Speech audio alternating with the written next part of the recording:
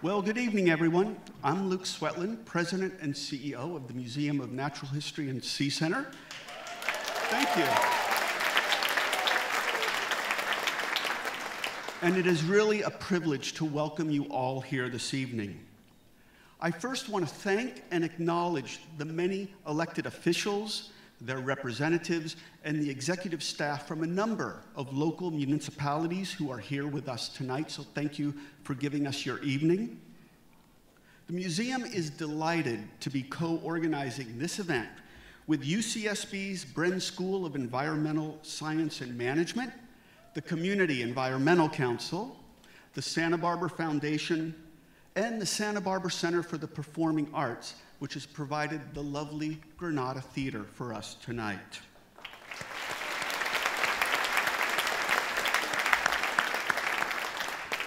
I want to particularly thank Dr. Karl Hutterer, Director Emeritus of the museum, for his great help in organizing the program tonight. Thank you, Karl.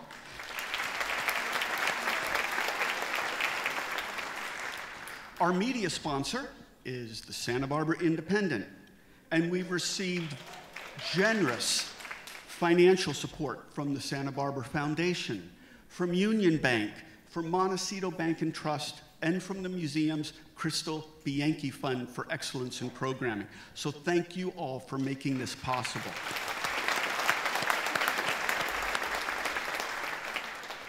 This program is being recorded by TV Santa Barbara and it will be broadcast and streamed after we do the editing, so stay tuned for that. And we are so honored to have Joe Black here with us tonight so that we can get this message out to more folks. And now, to get this critically important conversation started, I'm going to turn the podium over to Dr. Steve Gaines, Dean of the Bren School. Steve?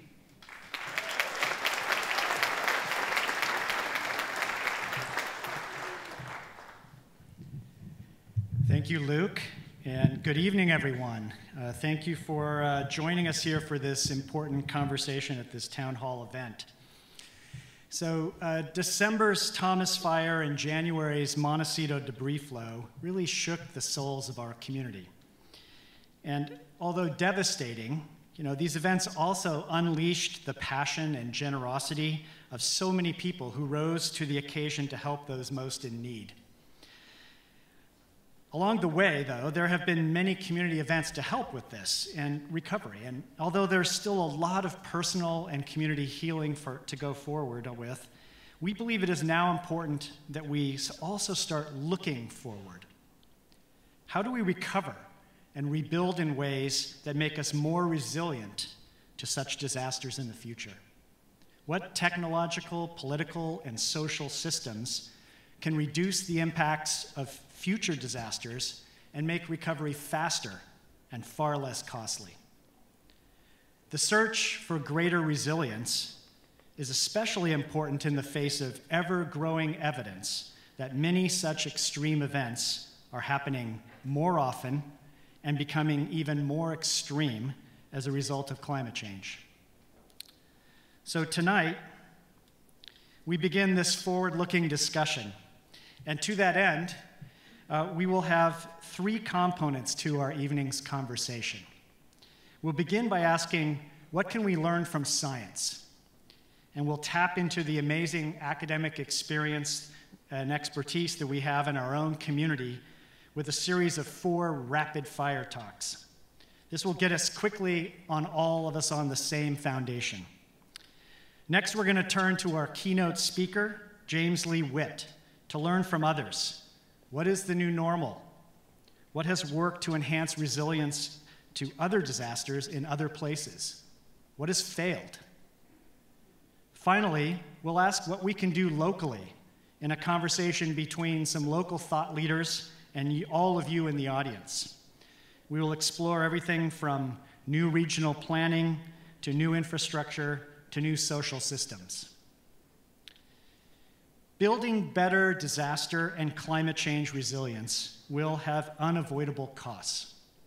But smart investing now will be far more far less expensive than recovering again in the future. So this, will, this event will hopefully start many new dialogues along this line in terms of looking forward to the future. So let's get going. We're going to begin with four presentations from prominent scientists at UCSB. Now, these will not be long, drawn out lectures, don't worry. They're going to be pithy, three minute answers to key foundational questions around fire, debris flows, climate change, and opportunities for action. We're going to start with a question of what shapes our fires. Max Moritz, adjunct professor at the Bren School, is an expert in fire dynamics and the factors that control them. So let's hear about what shapes fire. Please welcome Max Moritz. All right. Thank you, Steve. So, depending on who you talk to, there will generally be one of three factors blamed for why wildfires in our region can get so large and be so damaging. One is winds, right? Parts of our landscape are subject to Santa Ana winds, one of the worst uh, fire weather conditions in the entire world, and it affects a lot of Southern California. Parts of our landscapes are also affected by sundowner winds, much more localized canyon specific winds here. So winds are one, get one portion of the blame often. Two is fuels, accumulation of, of abundant fuels on the landscape. You can't have fires like this without fuels, and that often gets uh, a big part of the blame. And third, humans as ignition sources. We're everywhere, we're always going to be supplying a start on, under the worst possible conditions, and that's, some argue that that's really the key. I'm going to argue instead that it's actually not any one, but it's all three, and that viewing this as a complex problem is really necessary for us to find a comprehensive solution uh, to our wildfire problems. So, looking at a fire progression map, this is from the Thomas Fire. We see some things about winds that jump out at us. In the darker greens and yellows of this map, and on the bar chart here, which shows daily fire spread in acres, we notice that in the first five days of the Thomas Fire, there was this explosive growth. It grew to over 200,000 acres just in the first five days. This is phenomenal. And this coincided with one of the longest and strongest Santa Ana wind events recorded for this area ever. We did have some sundowner wind driven uh, activity right up here um, above Montecito. But overall, it was a Santa Ana wind driven event. And from the maps like this, we, we can learn a lot about the role of winds. If we zoom out to a broader landscape and a longer span of time, we can use a fire history map like this. The uh, more recent fires are in red, and then as we go back in time, they fade into to red and then to blue. From research that's been done on fire patterns from these maps and wind patterns that drive a lot of these fires, we've learned something about Santa Anas. Basically, we don't see Santa Anas in the Santa Barbara region. They tend to occur not exclusively along the, the Ventura County line, but they, they tend to incur, occur Ventura southward.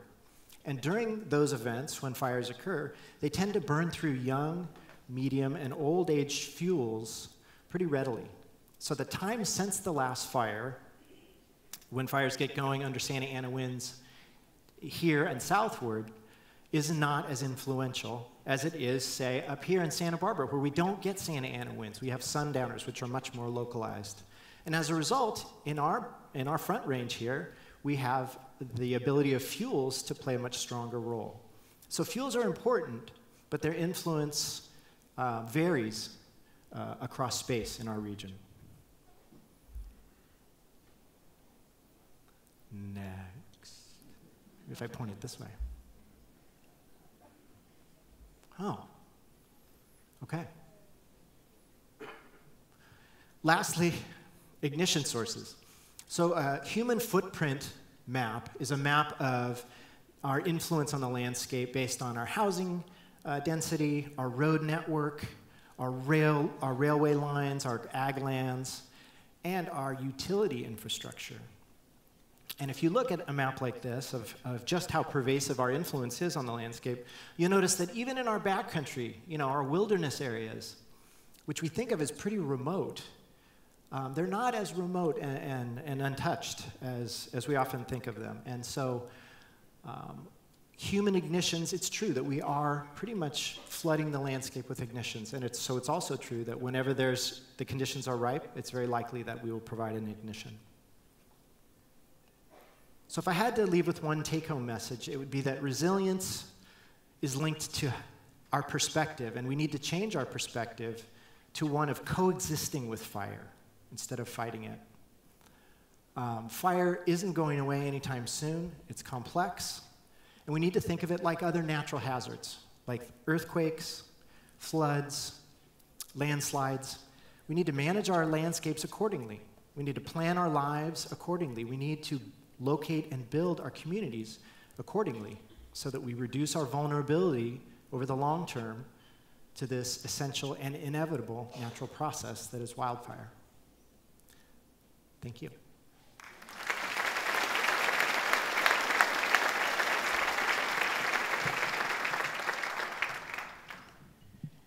Thank you, Max. And uh, now that we have some sense of the shapes of fire, I think it's only appropriate that we do our own version of the shape of water.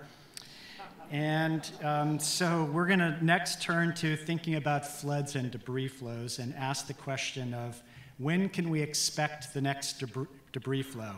And for the answer, we're going to turn to Ed Keller, an environmental geologist and professor of earth science and environmental studies at UCSB. He has probably been the busiest speaker in the county uh, since the debris flow. Um, so please welcome Ed Keller.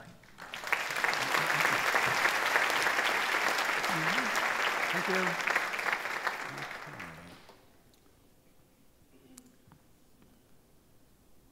See if it'll come up. Hmm?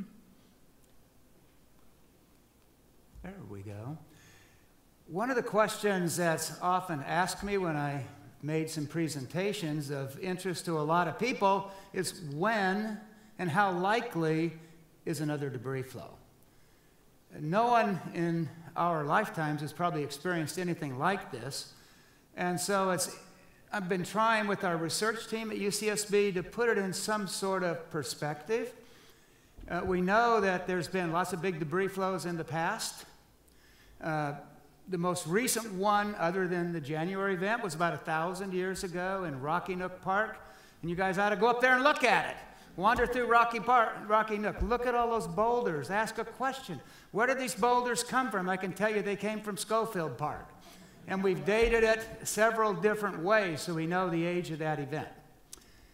We've also dated another older debris flow that I'll talk about a little bit. Well, I really won't talk. I've only got three minutes. You know, I'm usually programmed for an hour. But anyway, uh, that's 125,000 years old. And in between, we haven't got a clue. So I'm going to tell you lots of things tonight that we don't know much about. We've been studying in Montecito for over 20 years. And I can say a kind of short answer is that uh, it's possible we'll get another debris flow uh, next winter if we see a really intense rainstorm, say a 1 in 100, 1 in 200 chance. So that makes it unlikely okay? We don't see 100 year storms in terms of intense precipitation every year by any standpoint. So, uh, but, it's, but it's possible, okay? We, we never can, can write it out entirely. One thing we're kind of interested in is these so called stages, and I've broken them into three. The first stage is you have to have material to move down the slopes uh, to, to actually form the debris flow. And these are in the steeper mountain areas where boulders, maybe for hundreds of years, have been accumulating in the, in the streams, like Cold Springs and other streams. They all have trails along it. A lot of you probably hiked them. You've seen the wonderful boulders that were there, okay, before, before the January event. A good many of them are gone. How many are gone? We have no clue. Because uh, there are enough left there to still produce another debris flow? Maybe. We have 10 people up there working with GPS and measuring the boulders and measuring the mud. And in a few months, we'll have a better idea of the budget of this event. We're just about ready to calculate the volume from differences between 2006 and 2018 LIDAR, but we haven't done that yet. So we need all this accumulation. That may take a long time, we think. Okay, secondly, we need a wildfire. We know we had a big, intense wildfire, and the wildfire burned almost everything off. It affected the soils, and runoff increased, increased tremendously.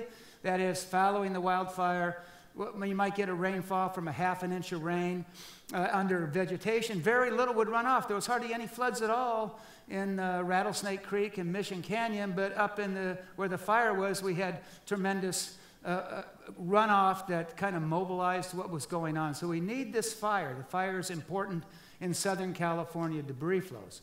I should mention after every fire, we expect debris flows, but normally little ones not these things that can affect entire communities. So, having said that, the Rocky Nook event is several times or more bigger than what happened in Montecito.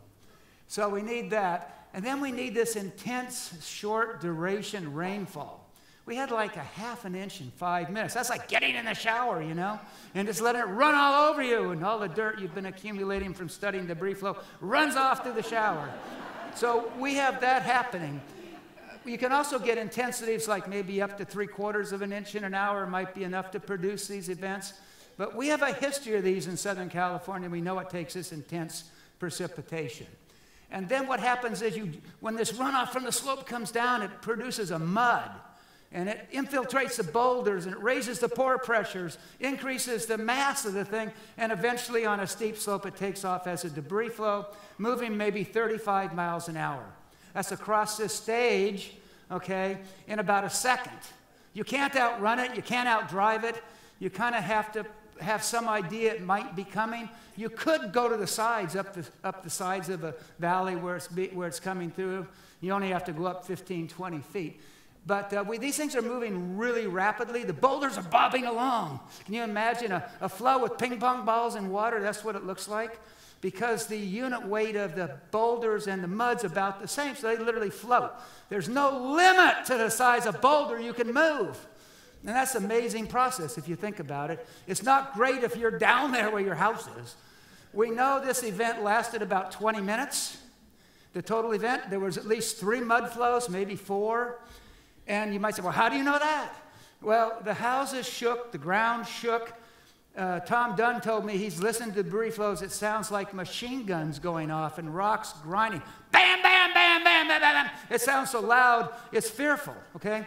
So, so you, people obviously not experiencing something like that. It was a tremendous shock to their auditory, and then their house is shaking and so forth. So, anyway, you got the idea to check the seismic records where we look for earthquakes, and we see a record and the record's 20 minutes long. It looks like it contains three flows starting in the east and moving west as the rain moved, uh, pardon me, west to east as the rain moved from west to east. We're still refining that. It tells us something that we might expect with the moving mass of rain would affect one canyon, then the next, then the next. And that seems to, to have happened. So that's kind of interesting. So these short duration precipitation events.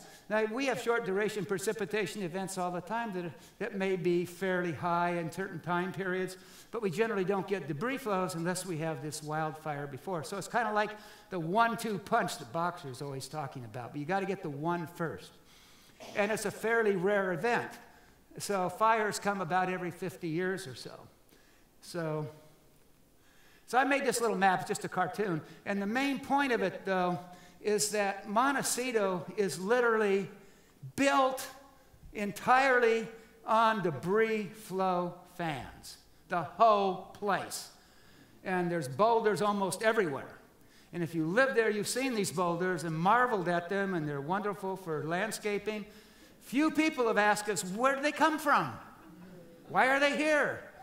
And uh, we had an idea 20 years ago when we were studying Rocky Nook, but in Montecito, we mapped the fans, but we never dated the flow. So now we need to go in there and date as many flows as we can with radiocarbon, with, uh, uh, with looking at cosmogenic nuclides, any way we can. And then we get a long list of dates. We can say how often these things actually might occur, which is an important thing for planning. So maybe they occur every 500 to 1,000 years.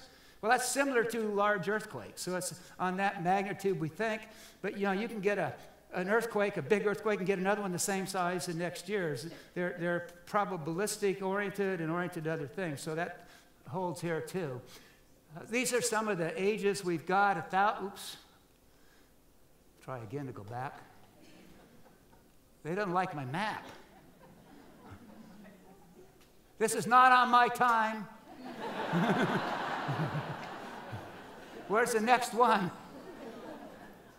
All right, well, I, I, got up this. I'm, I'm going to forget that. So the Montecito's built on these debris flow fans. And we're going to map them carefully and get dates on them. And that will help a great deal in understanding this hazard. So, again, going back to my first thing, how likely is it next year? Very unlikely, but possible. And that's kind of a cop out. I understand that. But that's the nature of statistics and reflects how little we know about this event. We don't even know the volume of it yet. We are not sure about the physical processes that actually led to the development of the mud, that led to filling the boulders, that led to the pore pressure, that led to the flow. And no one saw these boulders bobbing along, it was all dark. So that's a bit of a problem. They're probably telling me to get off pretty quick here. So, anyway, uh, that's okay. Uh, uh, thank you for attention. I, I, wouldn't worry too much next year, but pay attention to the weather and the first and the people are sending out the warnings. And if I lived there and they said there's a high intensity storm coming in, I'd go visit a beach up up uh, north or someplace or go someplace. Okay? Thank you.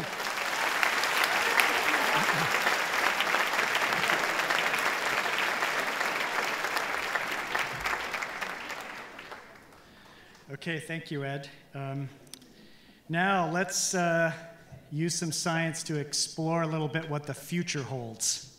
So, Naomi Tague is an eco-hydrologist, she'll tell you what that is in a second, and a professor in the Bren School at UCSB who explores our future using mathematics. So, let's see what the future holds. Please welcome Naomi Tague.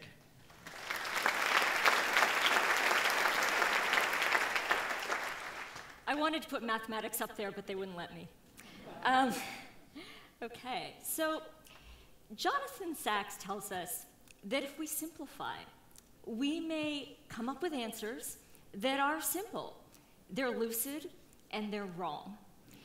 And this is an important thing to have in mind when we think about how climate change is going to affect the future of floods and fire and drought in the Santa Barbara region. So, how do we as scientists predict the future? We don't have crystal balls. So, what we do is we take historic observations and we combine these with mechanistic understanding of how the processes in our landscapes work.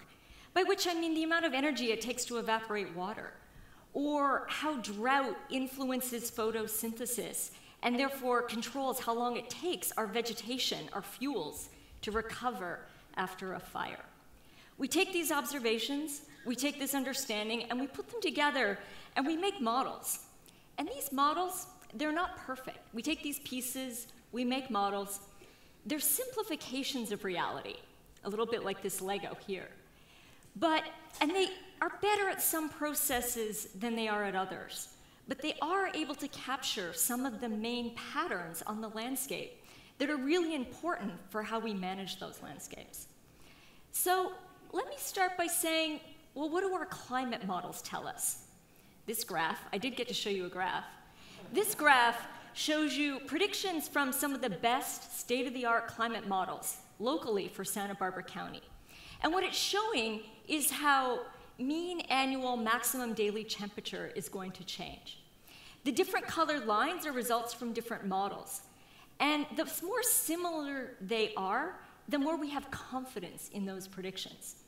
And so, what you can see here is that we're pretty confident that over the next couple of decades, Santa Barbara is going to be warmer. You can pretty much count on that. When we look at precipitation, there's a lot more uncertainty. It's much harder to tell. If we put all the models together, we basically think it's going to get slightly wetter, but that precipitation is going to be more variable. That means we're going to have some years, more dry years, followed by more years that are wetter than average. Perhaps most importantly is that precipitation is going to fall more often in large storm events. So the 200 year storm event that we were talking about may actually now become the 100 year storm event. We can then say, okay, how does this change in climate? When we put that into our models and understanding of fire and vegetation, what do we know? Well, one thing we know for sure is that Santa Barbara is going to continue to be a place where we will have frequent fires, and sometimes they're going to be large. We will have to continue to live with fire. That's not going to change. What may change because precipitation becomes more variable is the time it takes fuels to recover. But because it's more variable, sometimes fires will recover, fuel, fires will happen more frequently than they did in the past, and sometimes it will take the fuels longer to recover, so the fire return interval will increase. Both will happen. We are going to get more intense storm events, but keep in mind if the 200 year event becomes a 100 year event, it's still pretty rare. So if I summarize all this for you, I'm basically saying that climate change will be noticeable, it's going to happen, but the impacts on fire and floods in Santa Barbara are relatively moderate. But that doesn't mean we shouldn't care about climate change. It influences other things we care about. It influences water supply. It results in sea level rise. And maybe most importantly, Santa Barbara, it's not an island. You may think it is, but it's not. And these same climate model predictions for the more snow dominated parts of the state, up in the Sierras here, these same changes have much more dramatic effects. Earlier snowmelt means the fire season in those parts of the state is much longer, and we're already seeing larger and more intense wildfires. We have to care about that in Santa Barbara because we share resources with the whole state. When we, have, we share budgets, we share people who help us deal with fires when they're happening and the aftermath of those fires. We share water with the state. So these changes that are happening statewide are going to have local implications when we continue to live with the fire in the future. Thanks.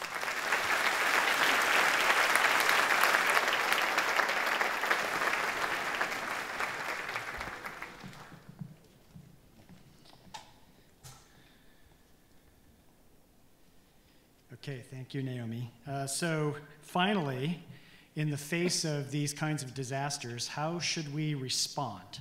Sarah Anderson is a political scientist and professor in the Bren School who has studied how people have responded in the face of other kinds of catastrophes. So, what can we learn from these experiences? Please welcome Sarah Anderson. Thank you.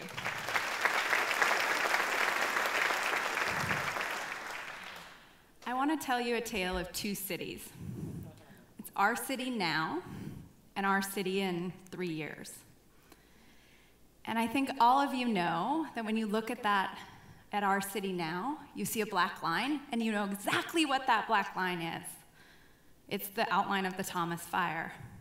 And you know about that because we've just experienced wildfire and we've just experienced debris flows, and we're thinking about them. We're thinking about fire insurance, and we're thinking about brush clearance, and we're thinking about rebuilding. But in just three short years in our community in 2021, it's three short years, but we will have moved on. We might not even remember exactly where that black line was anymore. And we'll be thinking about what to have for dinner or what we left on our desk at work. And it's not just us who respond that way, but governments actually respond that way as well. We used 10 years of data over the whole western United States to look at how governments respond to wildfires. And what we found is that our community now and the hills above it are about 50% more likely to get a government project to help us deal with wildfire, to do some brush clearing to make the next fire maybe not so bad. Now, but after three years, we're kind of back to business as usual. So people forget and governments forget. At the same time that wildfire risk is going up over time because our chaparral is regrowing, our, our, our fuels are regrowing. Our attention to wildfire, the salience of wildfires, is actually going down. And so this is a tragedy, but it's also a window of opportunity to make long term changes now. Our human impulse, of course, is to think about recovery, and that is critically, critically important. But in the face of that fire dominated landscape um, that Dr. Moritz told us about, the possibility of future debris flows that Dr. Keller told us about, and the consequences of climate change that Dr. Tague showed, we have to make changes now that last. Things like um, retrofitting houses so they're more likely to survive a wildfire, so we can live with wildfire, um, implementing land use changes, and thinking about disaster management systems that work.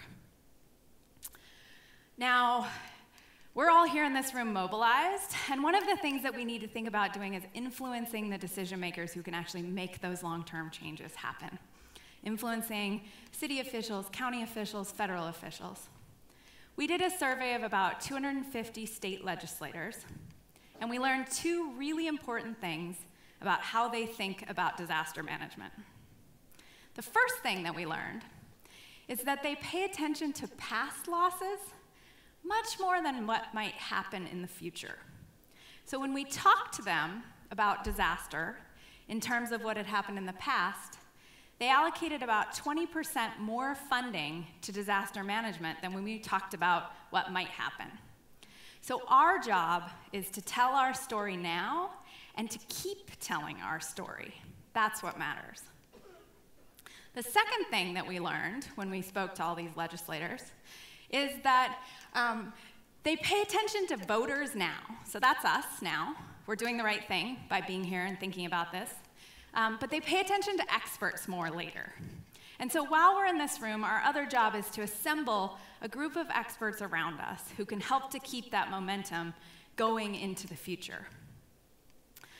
I'm confident that if we can engage decision makers to make these long term changes now, now while we have this moment of attention, that we can um, take the worst of times and make them the best of times and build one resilient city, one resilient community. Thank you.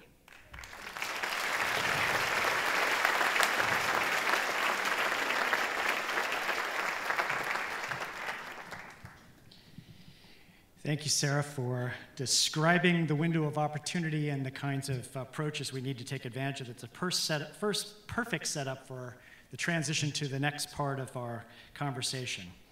And so, building on these scientific foundations, let's see what we can learn from others. James Lee Witt was the director of the Federal Emergency Management Agency, or FEMA, during the Clinton administration. He is well known for transforming FEMA from an unsuccessful bureaucratic agency to an internationally acclaimed disaster management agency. He currently serves as senior advisor to Fortune 500 companies and government leaders around the world. And in these diverse roles, he has seen so many crises and how communities have responded to them after the fact. So we have a lot to learn from the insights he has gleaned from others' successes and failures in building more resilient communities in the face of crises. So please welcome James Lee Witt for his talk, The New Normal.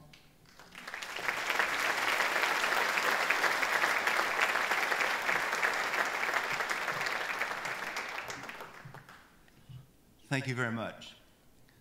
I don't think I can accomplish this speech in three minutes with an Arkansas accent. I hope that you can understand this as you translate it.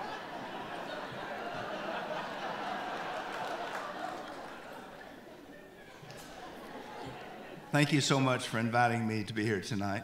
And the last time I was in Santa Barbara, I was up watching the aftermath of the debris field and the fires.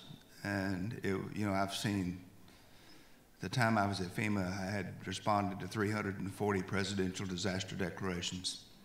And I've seen the earthquakes, the wildfires, the tornadoes, the tsunamis, you can name it, all around the world. And I want to thank the Community and Environmental Council tonight for asking me to be here to share some of my thoughts with you. I also want to thank Partnership for Resiliency Communities who ask us to help you to rebuild back better, safer, and more resilient. And Brett Matthews, I thank him so much for what he's doing with the nonprofit and uh, really going to make a difference for you in Santa Barbara and, and the cities in this community. I'd like to thank the first responders, and I'd like to thank Pat Murphy and the firefighters that all I met with the last time I was out here and the stories that they told.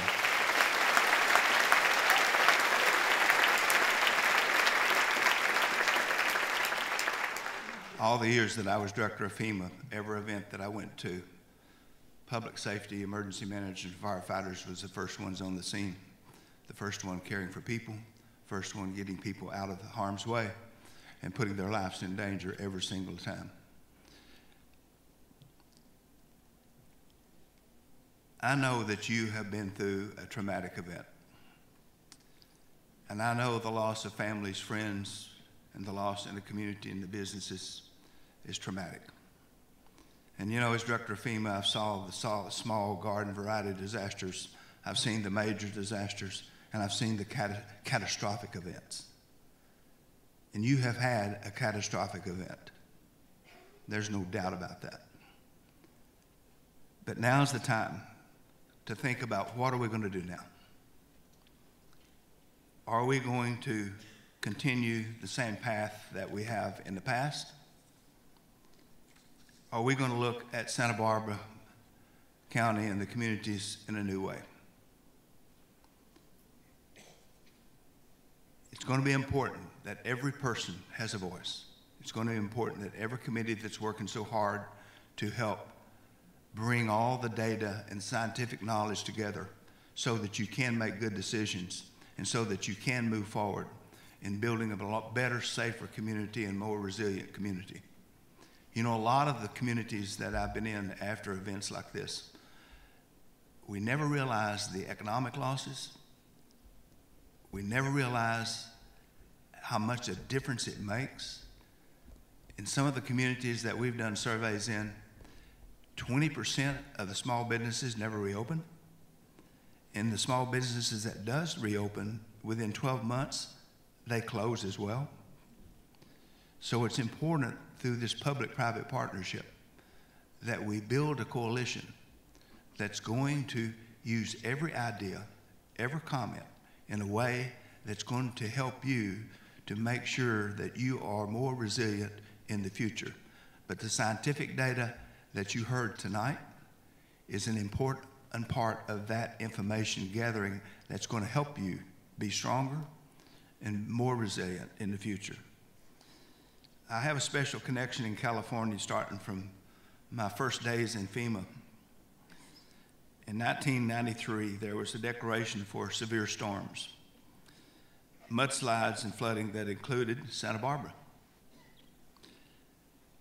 The Laguna Beach fire and the Malibu fire that I was at. And Governor Pete Wilson was with me. And when we went up in the Laguna Beach fire, there was one house that survived that fire.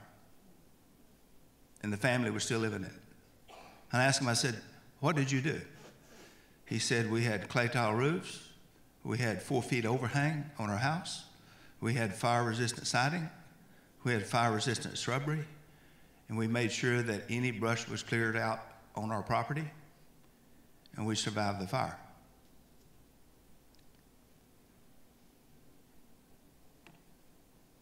In the Northridge earthquake, First Lady Hillary Clinton came out and we took her to this historical community with these big historical homes. And Northridge earthquake was like a rolling earthquake. And every house in that community was shifted off the foundation to the south, except one house. and the guy and his family were still living in it. And I said, he came out and we were standing in his front lawn. And I said, What did you do? And he said, I went down to the county library and I checked out a FEMA OES videotape how to retrofit your house yourself. I spent $1,000 and I still live here and I had no damage. So, there's a way that we can build back better and safer by using technology, using information, and making sure that we build back in stronger and better. It was interesting over the years at FEMA. Vice President Gore and Senator Dianne Feinstein and I came out here, and it was a flood. And this community was just almost surrounded by water. And we actually flew in on a Chinook helicopter and landed on the highway. And as we were walking up the highway to where the, all these volunteers and everybody was sandbagging down in this drainage ditch, bringing up the levee higher, one of the reporters came over to me and he said, Director, do you think you could get the vice president down in that ditch to throw some sandbags so we could get a photo op? I said, Yeah, I think so. So I go up next to the vice president and I said, Sir, they want you to get down that ditch and throw some of those sandbags so you can get a photo op. He said, Okay. So we walk up there and he goes, Hey guys, how are you? I think I'll get down there and help you. And he goes down that bank and the Secret Service goes nuts. One of them trips and rolls. And he gets down there and throws a few sandbags and he comes back up and he said, James Lee, what in the world was wrong with Secret Service? I said, Well, sir, I just found out all those guys in that ditch are convicts.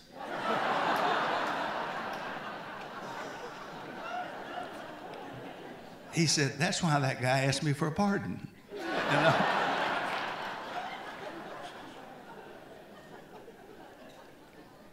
he was a fun, he was a lot of fun to travel with. I promise you. We used to take off at Andrews Air Force Base in Air Force Two. They made him quit doing this, but we used to take off, and he would have a piece of cardboard board. He'd surf down the surf down the aisle of the airplane. You know, he'll probably kill me for telling that. But, but you know, back then uh, we had an El Nino year. And we did the very first El Nino climate change summit in Santa Monica. Vice President Gore was there, Senator Feinstein, Senator Boxer, Senator Mikulski from Maryland. She was the chair of our appropriation, full appropriation committee of FEMA. We had BBC, we had every network around the world there. And it was a huge event. And I have to tell you, over the years, I have seen what climate change has done, and I have seen the events and the intensity of the events change. And if you look and if you track it, give an example. In my little town of Dardanelle, Arkansas, which you can Google and look up, I think it's still on the internet. we had six inches of rain in two hours. Last year, we had 26 tornadoes. This year, we've already had six tornadoes in one day. These events are stronger and more frequent than we've ever seen in the past. And as one of the presenters said earlier, California and one third of the West over the next few years are going to be facing some severe drought. So, do your research, know where you live, know what the elements are, and know how you can build to protect yourself and your property against those elements. And we will, in the coming years, continue to have a problem with water shortage. There's no doubt about it.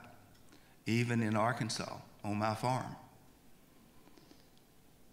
And particularly some of the soybean farmers and rice farmers and all, you know, they used to have 90 foot deep wells. Now they have 190 feet deep wells. But they've gotten smarter. They're recycling that irrigation water to be able to continue to grow rice. Back in FEMA in 1997, I started a program called Project Impact. It was the very first public private partnership program created in the federal government because I saw what mitigation could do in the prevention of the losses that I have seen in communities across our country. This program, the reason I started was this program after the 93 flood, the 94 earthquake in California, and many others, and we did a cost benefit analysis, and it showed that every dollar spent on prevention saved $7 in future losses. But you can think about how many lives it saved and how much ang- anger and anguish and pain that people went through that they lost everything that they had worked all their life for. So, this program, with a small investment from, the federal government, we started identifying with seven pilot communities in the United States, high risk. Seattle, Washington, Oakland, California, Santa Barbara, Barbara was one of them, Deerfield Beach, Florida, Tulsa, Oklahoma, and it was a huge success. And when we left FEMA, we had 250 communities in this program, and people were so excited about it. They didn't want seed money, they just wanted our help to build that public private partnership. We have over a thousand corporate business par- partners helping in these communities across the country. We had NASCAR, can you believe that? NASCAR passed out 62 million pamphlets in prevention for us. Home Depot, many others. Home Depot in Deerfield Beach, Florida, set up an entire aisle in their store of products that individuals could use to make their homes hurricane res- wind resistant. And they had a training class every Saturday. So, this is what a public private partnership can do. Well, the last summit I had in Washington, D.C., in this program, we had the four top NASCAR drivers there, and they wanted to go to the White House to see the Oval Office, so I took them. And they had to sit behind the president's desk and take a picture, you know, of course. Well, 2,500 people from these 250 communities. And folks, let me tell you something. You would have thought they were sniffing glue out of a paper bag. They were so excited. I'm serious. It was unbelievable. But when President Bush, and I have to tell you, President Bush was a dear friend of mine. When he was governor, I worked with him a lot. He even asked me to stay as director of FEMA if he got elected president. And I told him eight years was long enough. And, um, but they canceled this program. And so what we have decided to bring this program back to life from the private sector. In Santa Barbara, with the help Brett and his nonprofit organization, Santa Barbara is going to be the first community, Santa Barbara County and the communities are going to be the first one in the new Project Impact 2.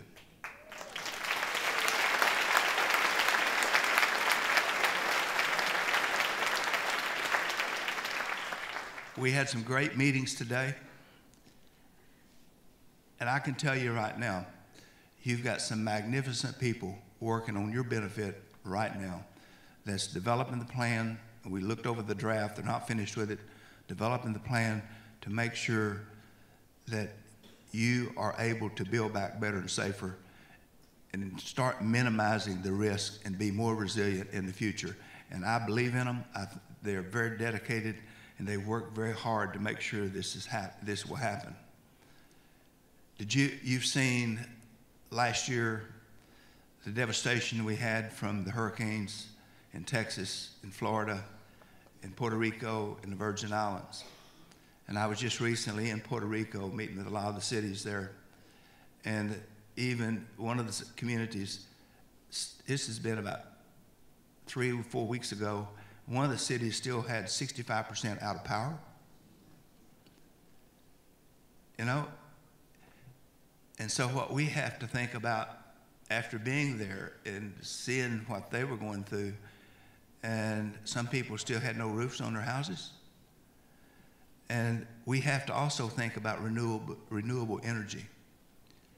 How can we make sure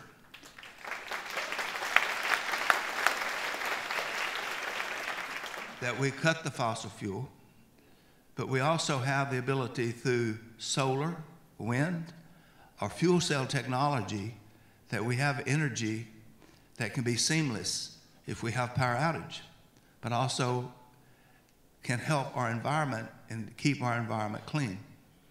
And that's another issue that we're going to be continually facing for the future. California has probably done more than any state with Tesla cars and electric cars and, and clean fuel. You've done an unbelievable job. We were in Sunnyvale, California, Rod and I was. It was the first time I rode in a Tesla car. I thought, and he said, Well, I'm just going to show you a little bit of how fast this thing can go. Whew, let me tell you. Hey, I've got a 2011 Shelby GT 500 Mustang, and it goes pretty fast, but that thing was pretty fast too. But you know, in 2017, the United States experienced $16 billion disasters. And over 300 billion. Think about that. Major insurers, the billions they lost, the economic losses, the losses that families lost. And the U.S. had $3 billion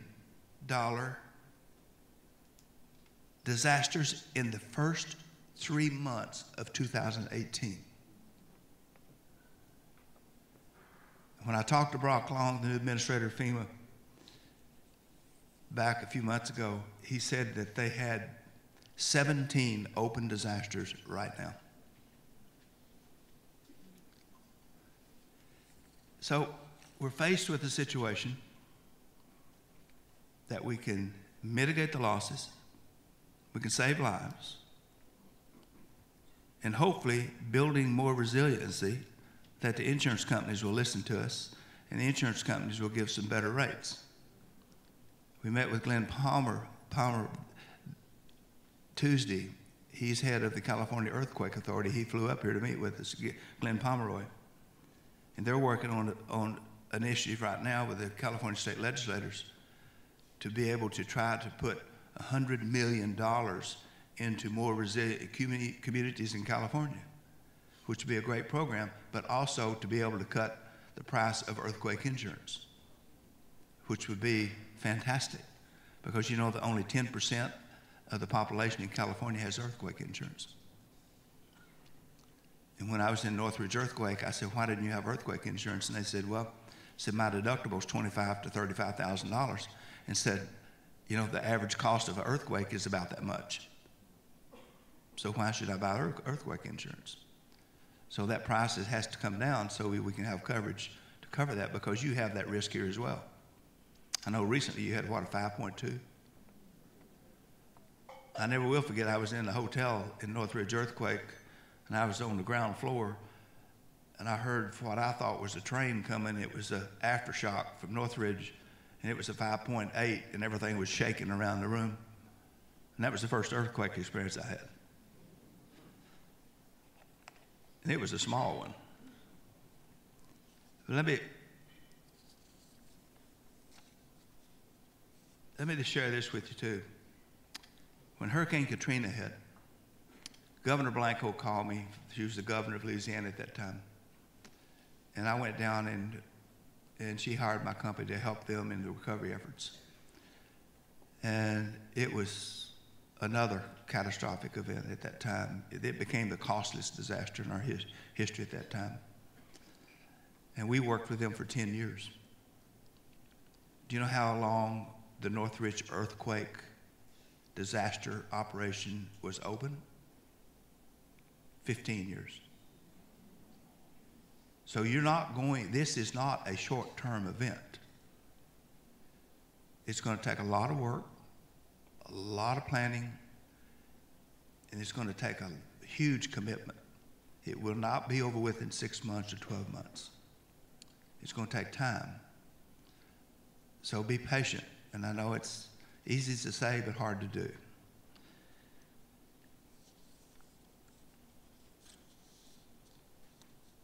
I have to say, I want to applaud the Community Environmental Council for convening this meeting. It's very important. Your experience and knowledge will help to inform and drive decisions, and I hope that you will partner with us and the, the nonprofit, with Brett and us, in making sure we do what's right and we do what's best, and we use every idea, particularly for the county and the, and the cities and the individuals. Let me say this climate change is real. And those that say it's not real,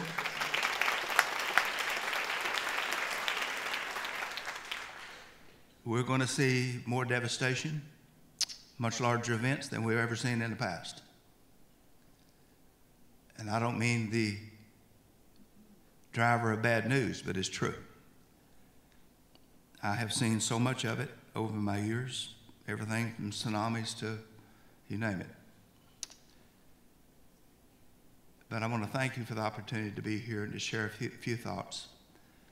But I'm going to close with this. When I was living in Virginia, and I lived in D.C. and Virginia 19 years, eight years with, with Bill Clinton, and I could tell you for two hours stories. Maybe sometimes we have it convene again, I'll tell you stories. How's that?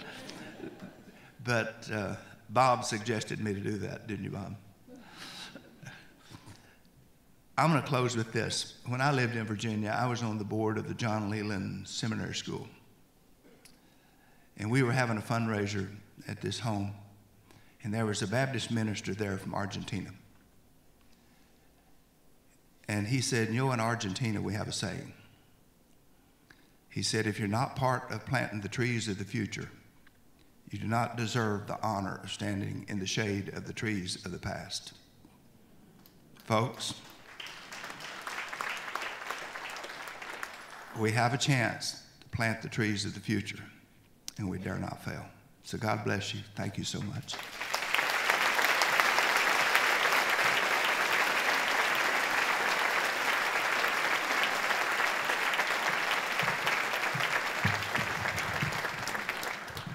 Thank you, uh, James Lee, for those for sharing your really in, inspiring thoughts and your insights you've gained from so many different experiences that are really relevant to our community.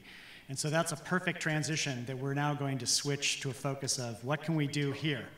And so I'm going to turn things over to Sigrid Wright to help uh, uh, start that conversation. Sigrid is the CEO and Executive Director of the Community Environmental Council and she's going to take things from here for a conversation about where we can go here in our own community.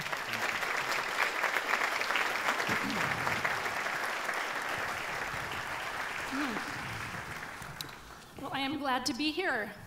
Um, so, as Steve just mentioned, I am the executive director for the Community Environmental Council. We are a nearly 50 year old environmental organization here in Santa Barbara. Um, headquartered here. We serve the Tri Counties region. We were um, formed in 1969 uh, in response to the oil spill. So I like to really say that we were born out of a disaster. And um, we're very, uh, very much supported by the community and, and solutions oriented. For the last 10 years, we've been focused almost entirely on regional solutions to climate change. So I've been wanting to have this conversation for a long time and really grateful that we have such a, a um, powerful and great panel. And, and what I'm wanting to do tonight actually is start talking about solutions. And we heard a couple of ideas um, put forth. We've also been collecting comments and questions from the audience uh, at, at, Earth Day over the last weekend in the, um, in the lobby this evening and on Twitter. So we're going to dig right into that. Um, first, I actually wanted to start with a, a, a definition of climate resilience as it um, is defined how I would define it the ability of our social and ecological systems to withstand and adapt to the variable and extreme weather associated with climate change. I feel like this is a phrase that I would like to start um, hearing us discuss and, and um, become more of a kind of common household phrase climate resilience. We have a little over half an hour to explore solutions, so I'm going to be moving us along and really kind of take this into kind of a conversational um, format here. And I, but I also recognize it's just the beginning of this conversation. I'm hoping, um, funding dependent, that we could move towards a, maybe an all day symposium sometime by the end of the year where the ideas and um, themes and solutions that get presented here, we can dig into that a little bit more. But I'm going to start by introducing our panel, and I could spend a half an hour on each one of them, I'm, and I'm really excited. Um, but one of the things I'm most uh, pleased about here is that each of our panelists are really tied to the community. They've been here a while, they have strong roots here. So Pat McElroy is, um, well, he announced actually on the morning, some of you may know this, on the morning of December 4th, he had announced his retirement as the Santa Barbara, City of Santa Barbara. 100 day notice. 100 day notice on December 4th, the morning, as um, fire chief for the City of Santa Barbara. So we all know what happened uh, the evening of December 4th. And those 100 days were some pretty long days. And we've had some conversations around um, how the Thomas Fire and the debris flow really punctuated his career. Um, Pat moved here for, to Santa Barbara to go to UCSB in the early 70s. So you've almost been here 50 years. I think you have to be here 50 years to qualify as a local. That's what I've been told. Um, he started his career with the U.S. Forest Service and then um, moved on to the City of Santa Barbara Fire Department, been fire chief since 2013, worked incidents throughout the country, including Hurricane Katrina, Northridge earthquake, and I think Das actually mentioned to me that he's one of the most requested incident commanders of the West. So let's please welcome Pat McElroy.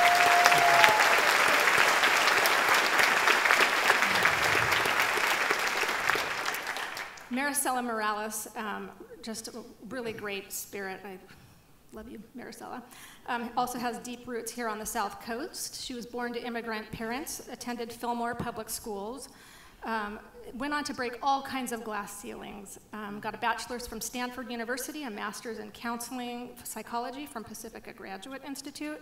She was the first Latina elected to the Port Hueneme City Council and then went on to become that city's first Latina mayor. She began um, at CAUSE, which is a social justice organization um, based in Ventura. She began as a volunteer almost 20 years ago, went on to become the first executive, um, female executive director. And she has worked on issues including living wage, health coverage for the uninsured, women's economic justice, farm worker bills of, bill of rights. She's a so strong social justice advocate and a mama, and, uh, and a real straight shooter. So I'm happy to have you here. Thank you. Thank you. Das Williams, we should all know. Um, Das grew up in Isla Vista. He's a born and, born and raised, attended local schools, including Dos Pueblos, and uh, for a little while, City College. Got his bachelor's at UC Berkeley, master's at the Bren School of Environmental Science and Management. Um, got into organizing when he was on campus, yeah, and was one of the youngest to serve on the Santa Barbara City Council.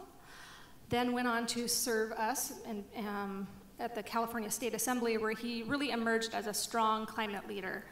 Um, recently returned to Santa Barbara to raise his daughter and to serve the first as the first district board of supervisors um, representative. And he's really been in the thick of things as, as we know First District has been hit hard by the Thomas Fire and debris flow. So please join me in welcoming Das.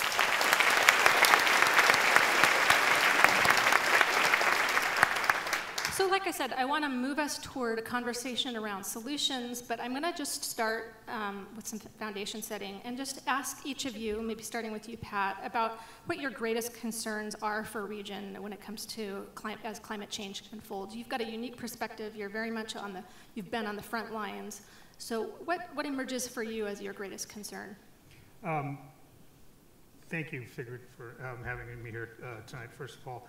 Um, what I'm alarmed by is in December of 2017, we have the longest string of red flag alert days in a row in, in my, in my uh, since they've been keeping those records in the National Weather Service. So we had 11 and a half days from December 3rd on where we were in red flag alert in December. Mm. Um, things that uh, happened this year in terms of fires, there's certain truisms that uh, people in Santa Barbara in, the fire, in uh, firefighting um, took as kind of gospel. Mm. Uh, the north, the north slope of the Santa Ynez Range doesn't burn, which is a slope above Lake Cachuma. Well, it did, and, and the Whittier fire uh, spoke another maxim, which was no fires don't burn from the back country into the front country in Santa Barbara. Well, within 10 hours, it had burned from Lake Cachuma to the hills above Goleta and was moving, moving in the front country.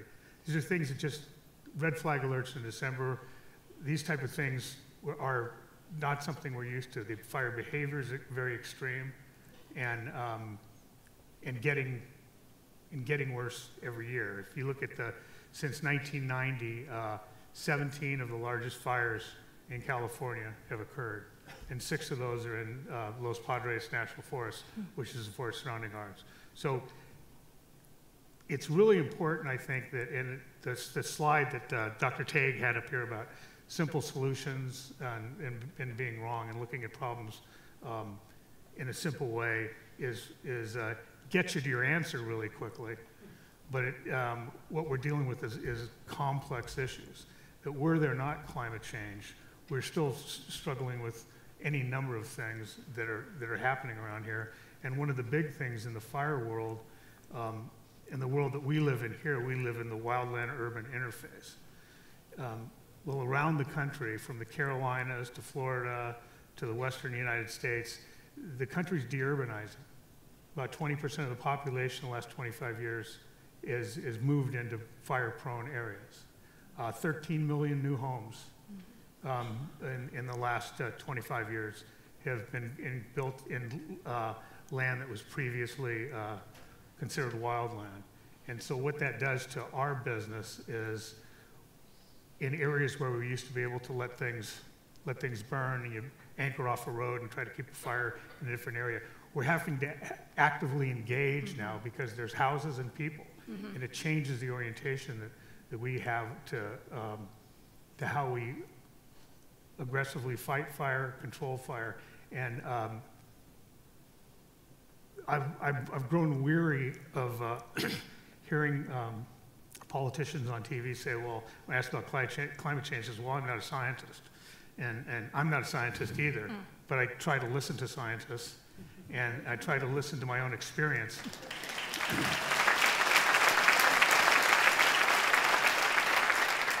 and my own experience is telling me that it's a far more uh, dangerous world in firefighting um, than it was when I started. Mm-hmm one of the things that struck me in some of our conversations, um, Pat, is the number of times, you, and I've said this to you, the number of times you've used superlatives, and you use some of them here tonight, that, that never happens and then it happens. That's the, it was the largest fire, it was the most expensive fire.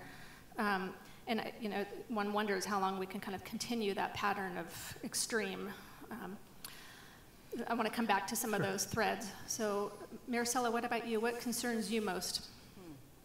So, for me, when I think about climate change, I think about the fact that Mother Earth has been here for four and a half billion years, and that during that time, there have been five mass extinctions. And so my bet is that Mother Earth is, is going to outlive us, um, and that climate change is really about humanity.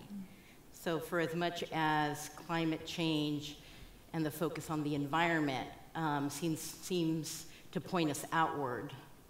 Um, it's really about the question of humanity and whether humanity will survive or not. And that immediately takes me to the question of, uh, of all the people, who is more likely to survive and who is more likely to perish. And so my greatest concern is that we know from the science, in terms of the impacts of climate change, that low-income communities from throughout the world to here at home um, are the most likely to be vulnerable, the most likely to perish, the most likely to, have their quality of life um, severely impaired.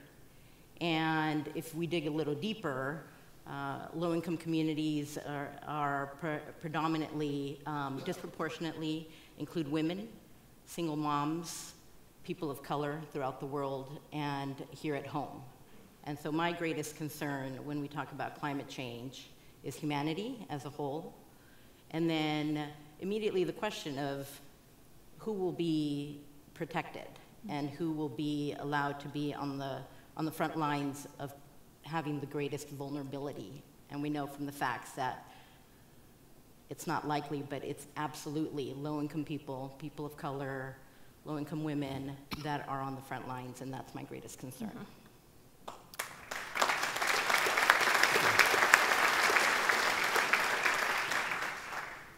Das, any thoughts from you?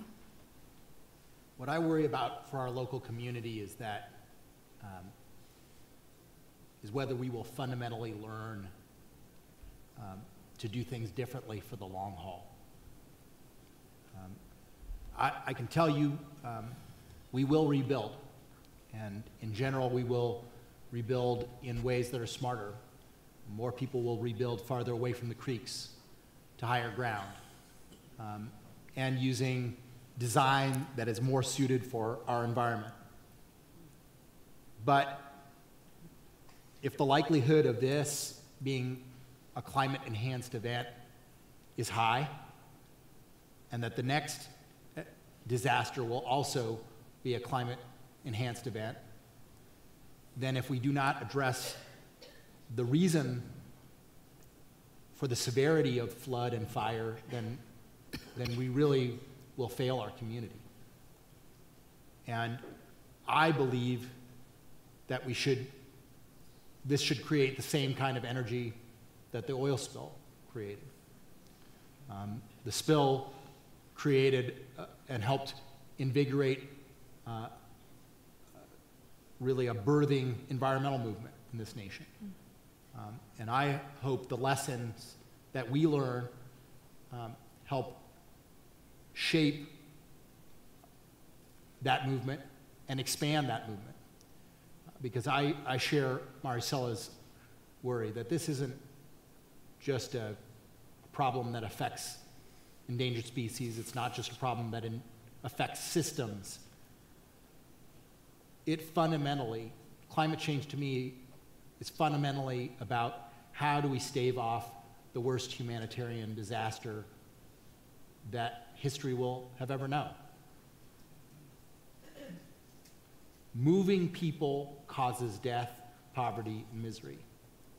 And moving large populations always creates that. Um, after World War II, millions of people died after the war just from moving populations.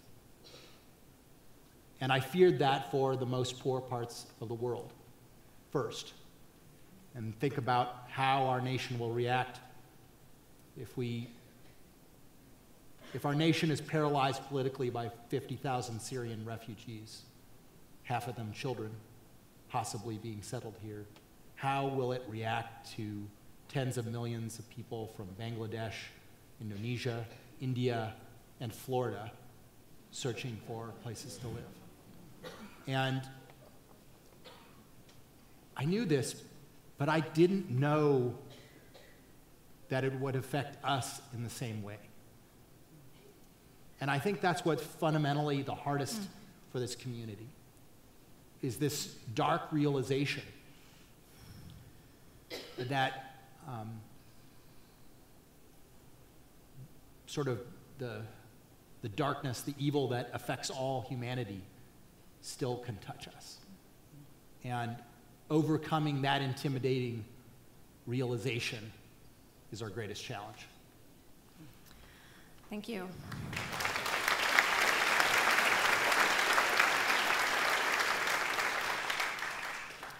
I want to take us in a minute here to talking about solutions, but first, just to finish laying the groundwork here, you know, we've heard about some of the threats um, we, during the presentation from the Bren School, uh, from the UCSB, as well as from James Lee Witt. Um, the, the, state of California has actually done a fair amount of work in the area of uh, climate risks to our state, and there are six, and we've heard some of them. Um, but increased hot days, and then decreased cool nights, which actually is a kind of a separate thing that they track and does, does matter because it um, means we have difficulty cooling down. Um, uh, increased fire risk, which we're, we've been talking about. The changes in precipitation, so these, um, we may still get the same amount of precipitation, but we'll get it in different forms. So longer um, cycles of drought with these kind of more extreme rain events, rain bombs, um, atmospheric rivers. And then the last thing, which we haven't talked much about tonight, is um, sea level rise, which is a more slow moving, but when punctuated with a, um, with a rain event or a storm surge can actually um, cause a lot of damage. Um, what concerns me in all of that is Santa Barbara, just the way in which we're configured, the mountains and the, and the ocean fairly um, close together all of our, most of our critical infrastructure is right there in those zones. So we're talking Highway 101, electrical lines, Amtrak lines. I mean, we've experienced all of this. Um, the airport, um, um, anyway, most of our critical infrastructure somehow under threat, if you look at a map over the next couple of decades from some form of climate change. So at some point I want to get in a little bit to um, what that means to our community.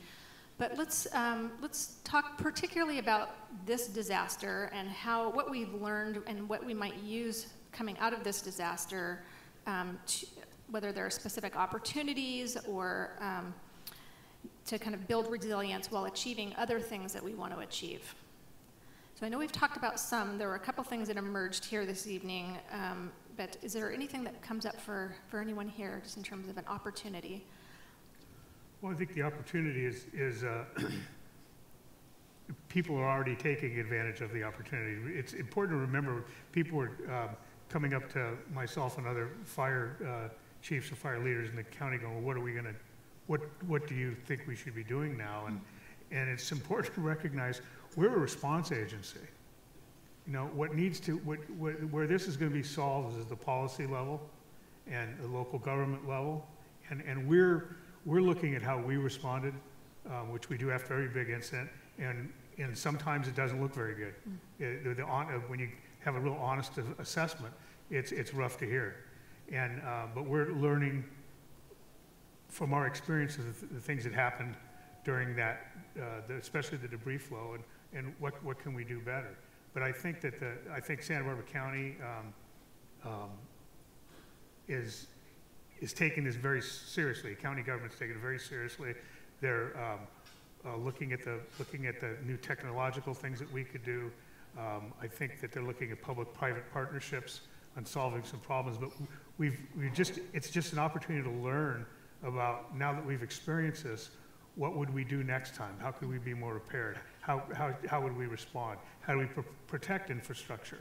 Um, all of those things are, are critical, and, and we have we have resources in this community and we have resources we can re reach out to around the globe, and that's what we should be doing now. We're going to be in a, um, uh, Dr. Keller, you know, says you know, it's not likely it'll, it'll not, it'll come next year, but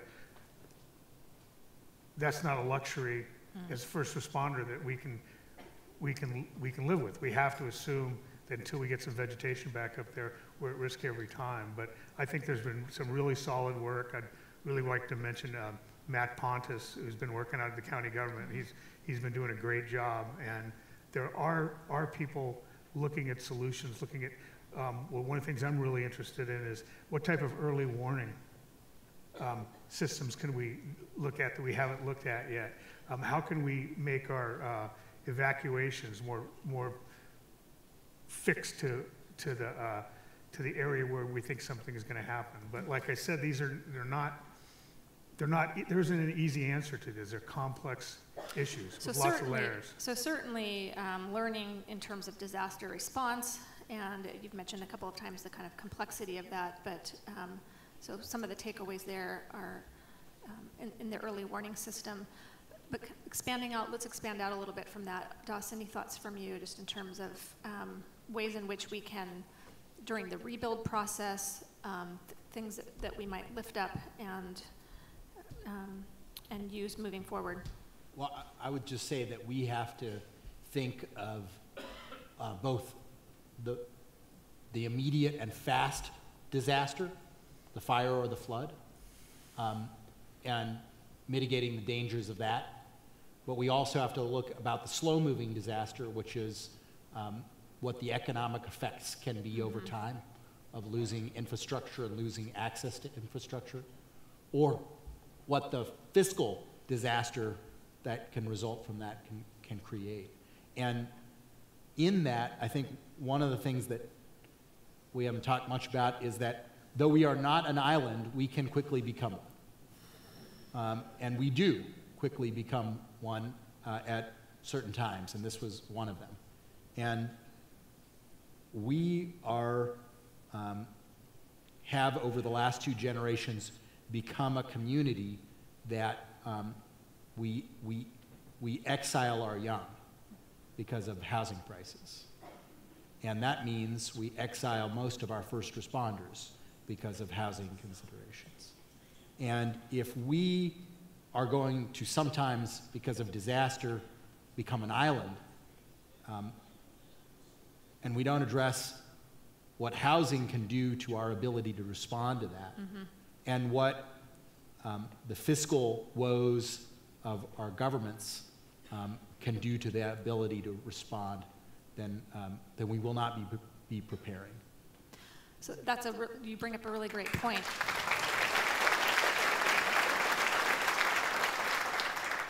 Um, just in terms of the, the, the jobs housing imbalance, how we manage that, um, where we put housing. Let's talk about housing in particular. You've got a, Pat mentioned public-private partnerships. I know the county's got um, a conversation going on right now with AIA, the American Institute of Architects. Do you want to speak to that? Just in terms of what you're hoping to get out of that? Well, uh, it, it is fortunately a great relationship and one in which you harness the creative energy of, uh, I mean, if you ever want to feel better about the world, have a conversation with an architect. Um, because they is a profession with a tremendous amount of, of vision, um, uh, a can-do spirit, and, uh, and also they interact as privately with clients. And I guess my view is if people hear the same thing from government and from their architect, then they're going to be more likely to respond to that. And if our unified message is um, we want to help you rebuild while leaving the mud as much as possible in place, that we want to help you rebuild farther away from the creek, that if, if um, you can't rebuild, um, maybe we want to connect you with philanthropy so that that um, parcel becomes part of uh, a public memorial park uh, that can help us increase our resilience as a community. Um, those are the, um, I think, the things that can be helped facilitated by that relationship between the county and, and the AIA. Yeah, definitely, and some great, great ideas coming out of the community itself, and I think that's also a really um, uh, uh, great lesson learned and component out of this is the community's involvement. And um, another thing that we had been talking about, about was this advanced home rebuild. So already the state is moving us towards zero net energy homes by 2030, and the idea of kind of maybe expediting that, um, expediting that process for those who are building back. Maricela, any thoughts from you, just in terms of kind of coming out of this disaster, what we might do to both in the recovery from this disaster, learning from learning um, and, take away lessons from that, but also things that might um, support other goals that we that we have that Yeah, uh, so in terms of the, the disaster, I think that we're um, uh, new to, to this realm of, um, of disaster recovery and disaster intervention. And uh, the reason we, we entered it was because um, of that justice angle. Mm-hmm. And so something to learn is that, you know, again, not, not all people are protected equally. So what we learned from the example of the, the Thomas fire um, going into, from Ventura County into Santa Barbara County is that farm workers were, were not thought of. And so farm workers were out there working um, when the air quality was incredibly poor, when everybody was staying home. Um, we found out that Cal OSHA um, sent their people home from Oxnard. So Cal OSHA's job is to take care of workers. And so uh, those state employees were at home while farm workers were literally out in the field um, with no one advocating for them that they shouldn't be um, working out in the field.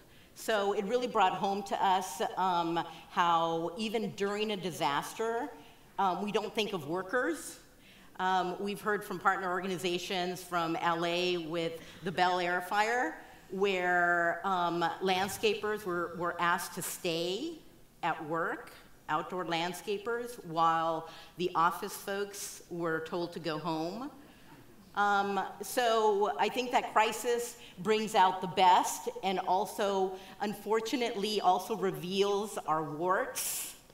And I think what we saw is that um, is, is some of those warts that um, not all workers are, are, treated equally. And so as we move forward to, um, to think about workers who are um, on, on the front lines, um, and then the, the other is in terms of language access, mm-hmm. right? That very little information um, was available during the crisis, and then looking back in terms of disaster preparedness, mm-hmm. right? In terms the uh, information that gets to all communities, low-income communities again, communities of color, Spanish-speaking communities, Mixteco-speaking communities that we have here in, in our region. Um, and then the, the other is um, that I think we do need to look at, once a disaster happens, um, who, who, was, who was impacted to see what we can learn. So I say this because in the Montecito mudslides, um, it, out of the 23 deaths, um, and every single one of those deaths, um, an incredible loss. Any loss of life is um, an incredible tragedy. Um, but then we, we also need to look whether there were certain populations were, that were disproportionately um, impacted. So Montecito is a community that's 97% white, and a third of the deaths were immigrants. Um, Along, uh, along the other um, demographics, so the deaths range from age 2 to um, 80, so across the lifespan. Um, coincidentally, uh, it was pretty much 50% female, 50% male, coincidentally. But when, it, when you look at class and uh, immigration uh, status, how is it that a community that's 97% white, um, native born, and a third of the deaths are immigrant. Um, so specifically, it was landscapers. It was one landscaper from Mexico and, and the wives of two other landscapers that lived on the properties and their children. So um, I think that that, that bears um, some study uh, as to um, why that disproportionate impact and again, to be very sensitive to any life being lost.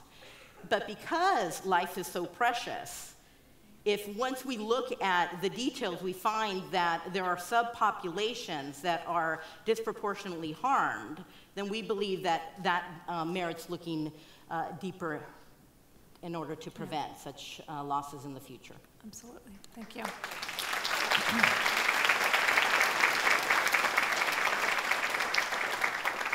So I heard some really great um, things here, just in terms of, you know, just lessons learned and coming out of, of this experience, moving forward, um, some things we'd like to work on. Um, communication to all community members, absolutely. An early warning system, refining the early warning system. Talked a little bit about um, how we build back um, and a little bit about where we build back. So I'm going to actually, that was one thing I wanted to bring up. Um, I think you mentioned this, Pat, that the, the, the back burns in Ventura County were done priv- primarily on private ag lands. Were you talking about that? I Maybe it was somebody sent me a note about that. Um, the, those private ag lands helped protect the spaces, uh, in- particularly in the Carpinteria area, and that that was one of the um, suggestions moving forward was land conservation easements and ag buffer zones. That is, is that something that you've been thinking about or talking about, Das? Yeah, I, I don't think necessarily to create, if the goal is to create a, a buffer around creeks, um, that, so that uh, the county flood control and others could effectively manage that, um, uh, maybe restore natural creek banks, have better flood control capacity. One thing that would help that is if there was private, if there was acquisition of that land by a nonprofit. The other thing that would do it is just simply if homeowners were willing to grant easements along that, uh, zone where they wouldn't want to build or would provide the ability for the county to be able to get in there to do preventative work a- at uh, a continuous basis or at a regular basis. And so I think maybe a patchwork public acquisition and, and, and, and private easements um, could, could really increase our resilience in the long run. Um, not only would it provide a place um, to stage equipment, but it also might provide a place to remember um, what we have been through as a community. Um, and that's why I think it's a practical um, value uh, in terms of flood control, control capacity and, and keeping homes out of harm's way, but it's also uh, a, a values, a reminder um, of what we've been through and um, that we should learn from it. So let's lift our gaze a little bit. Um, I know it's been um, really difficult last few months, and we've been rightfully so focused on on the last um, couple of disasters. Although you definitely gave us a perspective that some of what you've been seeing has been taking place over the last um, few years, Pat. Um, so as we kind of look forward, and one of the um, stats that really got my attention at the beginning of the year is that there's been a 330% increase in um, weather-related disaster worldwide since 1980. 330%. So it's a very steep chart. And there's nothing that I've really heard tonight or in any of my studies that suggests to me that that number is going down. So in addition, um, so we're, we're likely to be experiencing um, disaster in some form w- worldwide, and, and as we've seen in the, um, in the U.S., last year was the most expensive disaster year on record um, for, for the nation. Um, so as we look kind of forward and think about how we prepare and we think about our, how we invest in that, um, are there particular political or social or infrastructure um, changes that you would recommend? And, and I really encourage us to kind of think big and put out some big ideas here in terms of what we need to be doing over the next few decades. Um, and they may be things we need to do anyway. As I said, they may have there may be co-benefits. Um, so, any thoughts along along those lines? Well, I, I think that um, this area is taking a, um, we've got a good start on looking at, like the county's looking at a strategic recovery plan. There's the, like I said, we're, we're responders, we're not policy, policy people. But I think it's really important that everybody doesn't plant their flag and say, I won't back down on anything here. That, that, that uh, whether it's an environmental uh, position or development position or um, whatever your, your interest is, if it becomes a zero-sum game and everybody loses, you know, unless I, unless I win, I'm gonna make everybody else lose a little bit, um, we're not gonna, we're not gonna be able to do anything that's gonna be meaningful, that's gonna be, produce true resiliency. We've gotta be willing to look at the other person's point of view. We've gotta be willing to have a cooperative discussion. And, um, getting into the zero-sum, uh, fight for, uh, for something you may passionately believe in, um, doesn't bode well for us moving forward.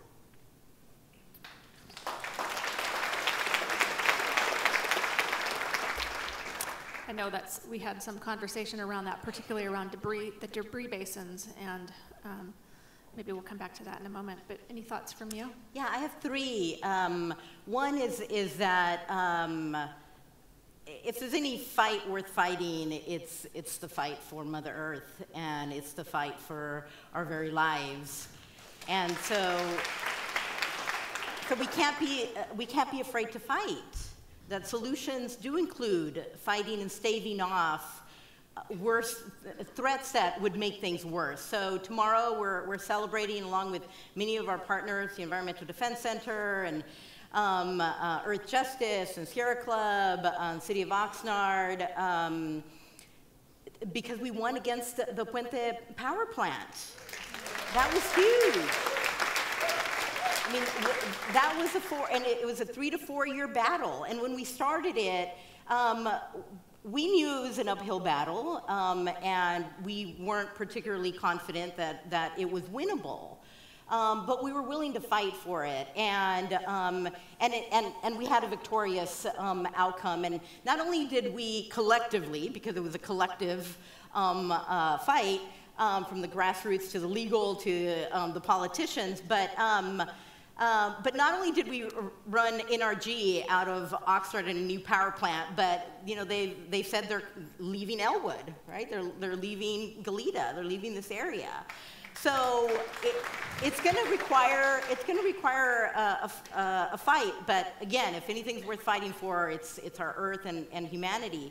Second, um, you know, from a sort of big level, um, you know, campaign like that to what might seem like the mundane, what Supervisor Williams mentioned, housing. You know, no one, typically no one thinks of housing when they think about climate change or disaster. But housing is absolutely critical to us both staving off climate change and resilience during disaster. Um, we have so many commuters that go from Santa Barbara, um, that work in Santa Barbara, but live elsewhere because they can't afford to be here. So, in terms of becoming an island during a disaster, those two weeks that the 101 was closed, because people who work here weren't living here, right, the city was impacted. Um, and, and in terms of the imp impact on climate change with the commuters, right, with that long commute. So the city of Santa Barbara has the opportunity to um, implement a 15% inclusionary housing ordinance, and what that means is, is that, that it would uh, uh, incentivize and, uh, and support 15% moderate um, to low income housing within um, market rate homes. That absolutely has to do with our resiliency, um, with staving off um, worse results from climate change, and to, protect, to protecting ourselves during a disaster. And then lastly, our power at the ballot box and the resiliency that, that comes from um, creating legislate, legislation that uh, impacts us all. So this November, it's already qualified for the ballot, Prop 70. We're urging a no on Prop 70. What they're attempting to do is require a two-thirds vote in both um, the Senate and the Assembly at the state level um, for any decisions on the use of cap and trade funds.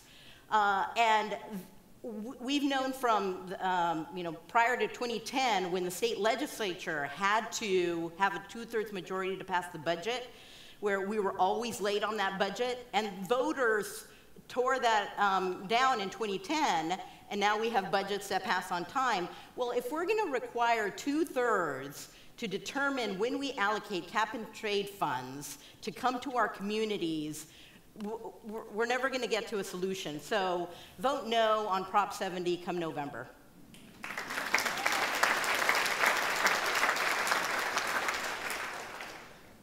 You can almost think that Maricela and I planned uh, the talking points because in the past, our community and our movement um, has been defined by what we could say no to, um, what we could defeat.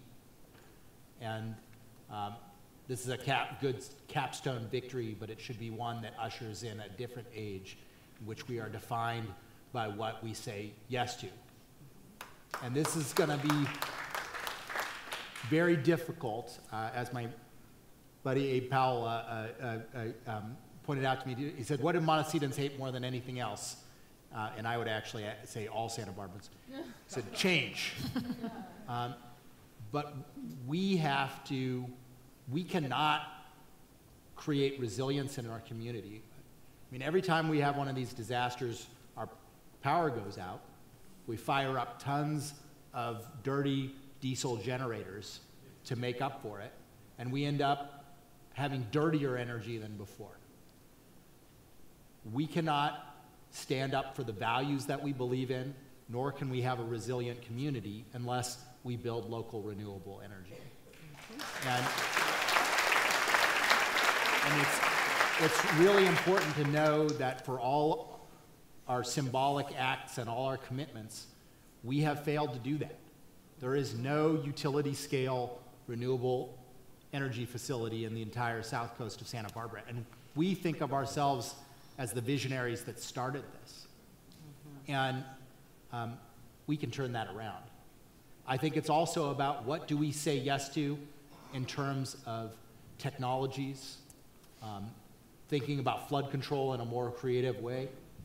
Um, are we going to revert, as uh, Professor Anderson predicted, within three years, are we going to revert back to being NIMBYs?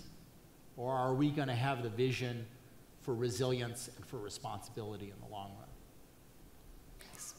Thank you.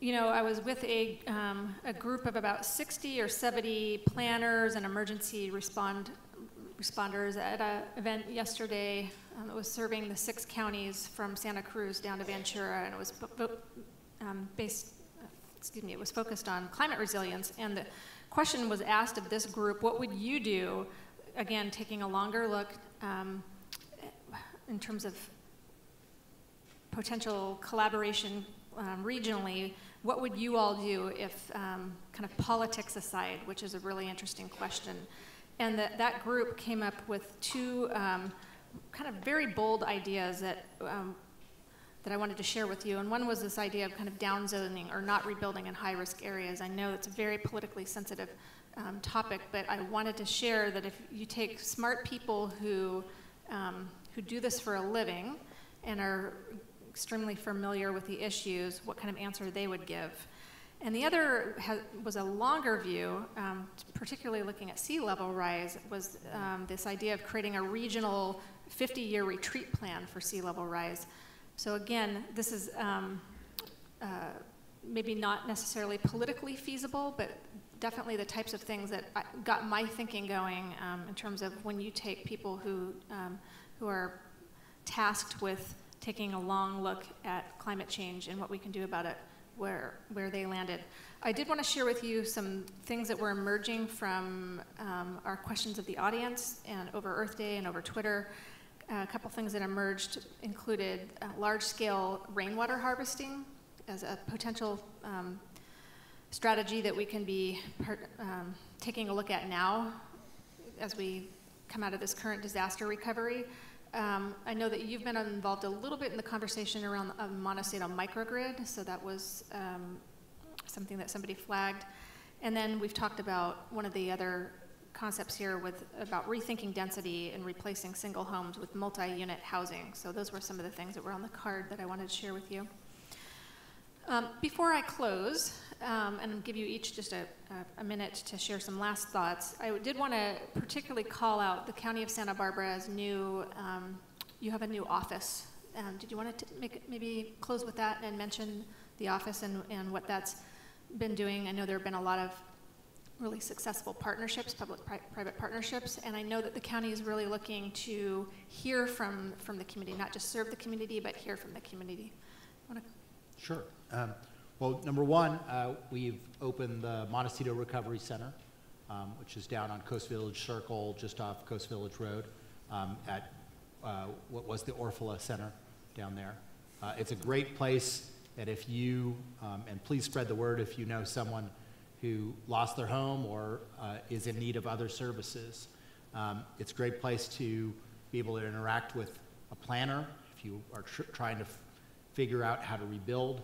It's a great place to get help to um, clean objects that were lost in, in the mud. Uh, a great place um, to get um, even a little bit of uh, uh, a pick me up from uh, uh, you know, some counseling services. Um, we offer many different services down there, and, and those services that the county doesn't offer, many nonprofits offer down there, and we try to house as many community resources as possible. Um, the other, uh, you know, is um, I think it's, it's important to, to know that we still are facing some big decisions about how to rebuild um, and what, what values we place highest. And I think um, it's important to think about the built environment, and that's what we as Santa Barbarans are very good at. But it's really even more important, in my view, to think about who is in the built environment as we go forward.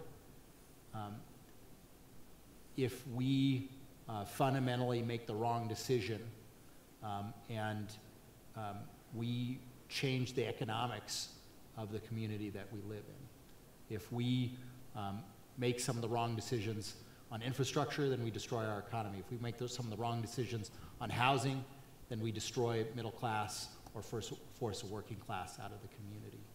And that is perpetually our struggle, but it will be the struggle of, of what priorities as we rebuild in Montecito as well. Okay, thank you. Pat, any last thoughts from you? And before you go there, I also I wanted to recognize one conversation that you and I had about you, how you mentioned that um, you said fire is, is regionalized now, and that partnership really required uh, kind of a regional effort. I, I think what, what, in, in our operational area, Santa Barbara County, we've, um, the fire chiefs have kind of come to an agreement that there were, we're, with the technology we have now, um, of dropping borders.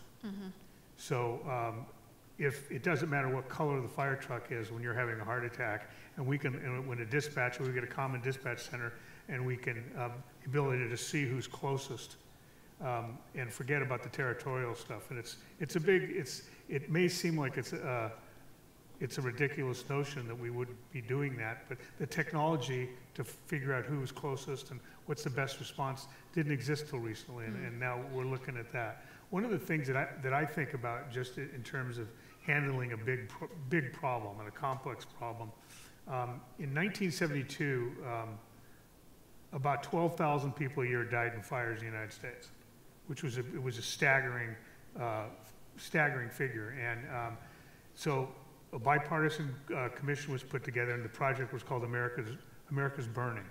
And it was um, uh, actually came, came under uh, President Nixon.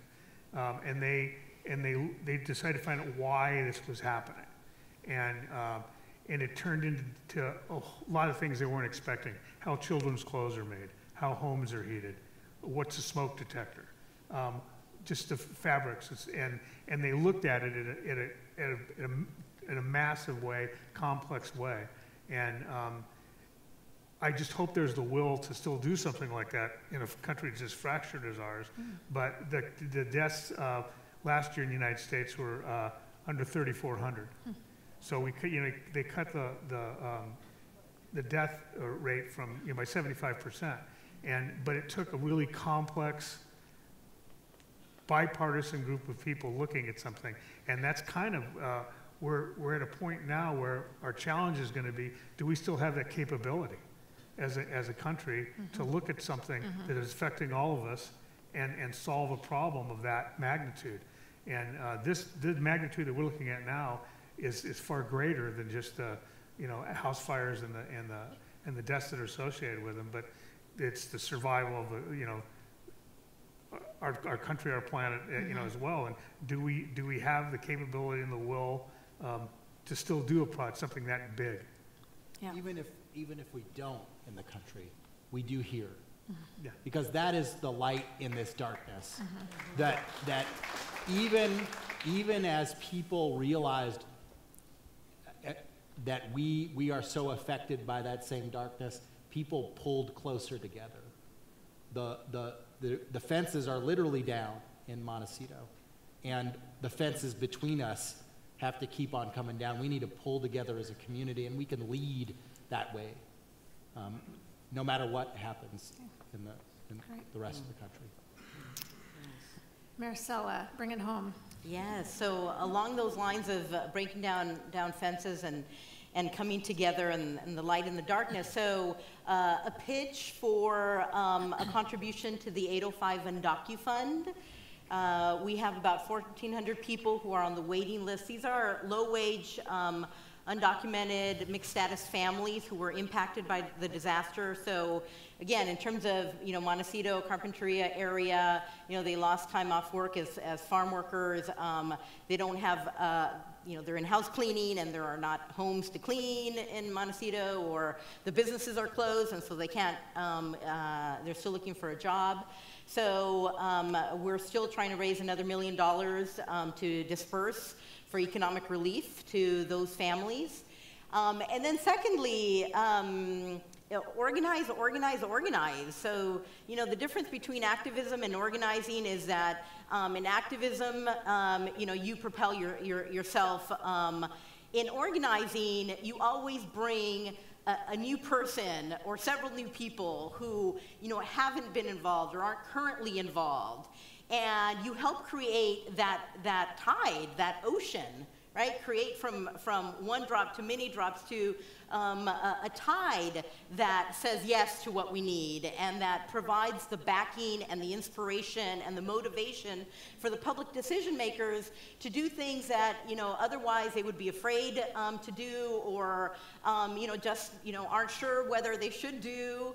Um, so organize, organize, organize for inclusionary housing, for more bike lanes, for better public transportation, for renewable energy. There's a plethora of things to organize. And in organizing, we find our community and we find our human dignity and we affirm that life is worth living and that life is worth fighting for and that the vision that we have, we can make it real. Mm-hmm.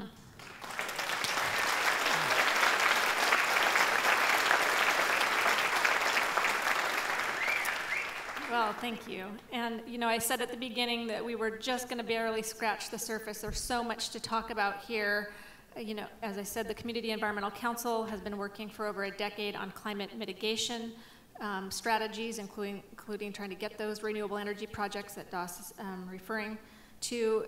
Um, it is time now, I think, that we talk about what climate adaptation looks like. And really, for me, the, the hope in all of this is the way in which um, community can be stitched together. I think tonight is a perfect example of that. We've just we've had a, a great room, a great conversation.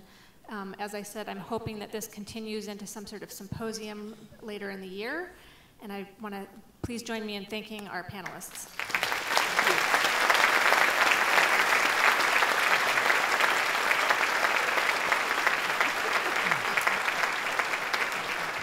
So thank you, Sigrid, Das, Pat and Maricela.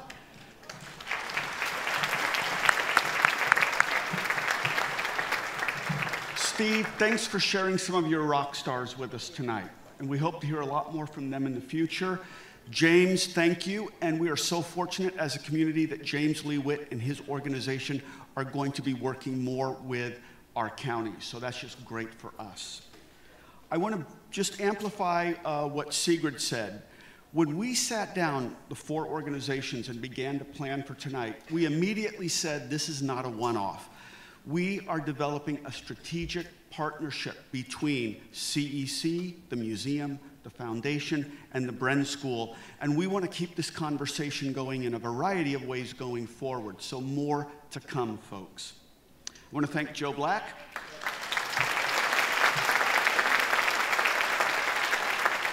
And finally, a shout out to a very good friend and colleague to many of us at the Santa Barbara Foundation, Sharon Main, who celebrates her birthday today with all of us. Thank you, Sharon. So, thank you, everybody. Good night and be safe.